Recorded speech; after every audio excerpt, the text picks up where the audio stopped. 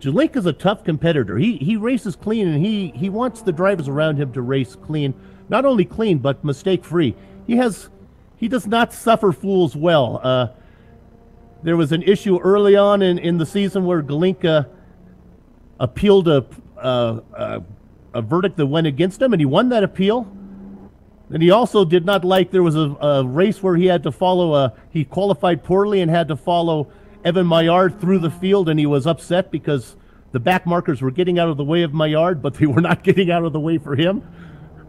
And then, of course, last week we saw him where uh, where Tom Rathie got loose in a battle, and, and they collided together, and Eklund let Rathie know he, uh, even though it was an honest mistake, he says you got to be able to control your car. So he is the he is the crying Dutchman. Of course, the flying Dutchman is that ghost ship when you saw on the ocean, you know you'd be in trouble. And uh, I think seeing Gelink in your mirrors is almost as scary.